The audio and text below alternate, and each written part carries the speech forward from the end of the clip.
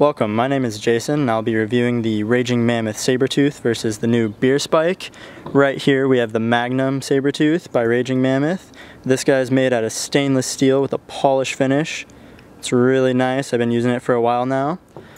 And over here we have the brand new Beer Spike, which I just got. Let's see if I can get it to focus in on the new logo that it's got stamped on the top.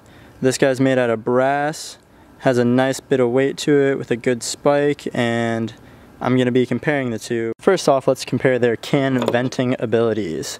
I find that it's a lot easier to vent your can before you open it.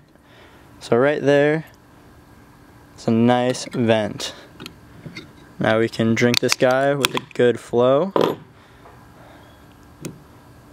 Let's see how the beer spike holds up to the venting abilities. This is my first time venting a can with the beer spike and it made a nice square hole. That looks really good. Let's compare it to the saber tooth hole. Both of them look like they're very good and easy to vent cans with. So in that side-by-side -side test, I wouldn't say either of them was better. Next off, let's open up a bottle. I found that this is not the easiest task with my saber tooth because sometimes it'll actually pierce the bottle cap, just like that, and then it makes it hard to open. And then you have to twist it around, try on the other side, Oh man, try it one more time. There we go. Sometimes Sabertooth is a little too much. In comparison, let's see what we can do with the new spike.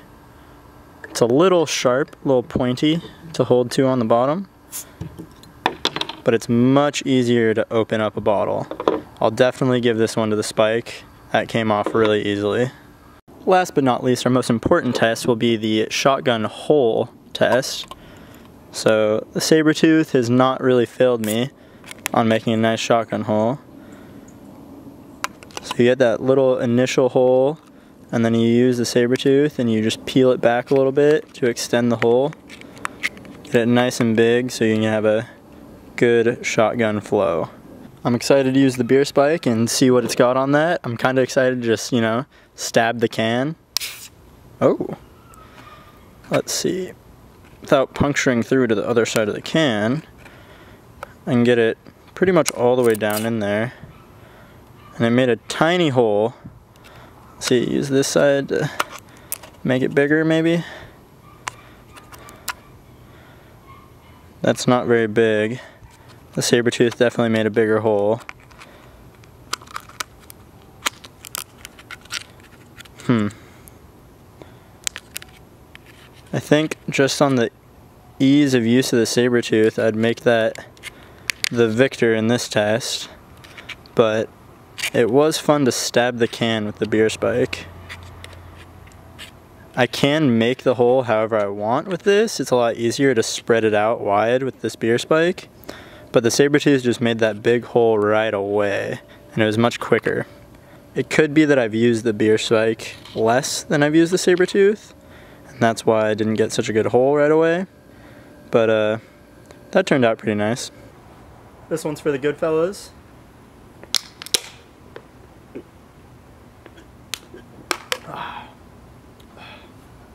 Here's a quick comparison shot of the beer spike and saber tooth holes made for shotgunning.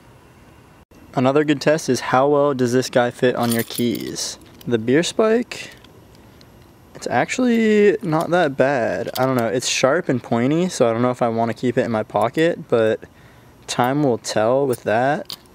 It does fit on a keyring pretty well, though, and it kind of lays flat like your keys do. The Sabertooth lays pretty nicely on a keyring. You can check it out.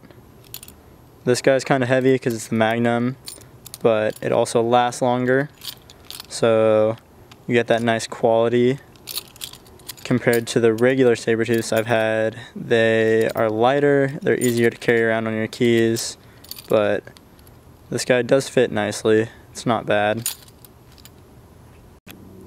To conclude this review, I would say that the Beer Spike and the Sabertooth are very comparable products.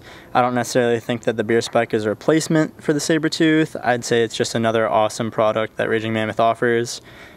It's a little bit better at opening bottles, as you can see by this guy right here. Everything else, I would say the Sabertooth is just as good at.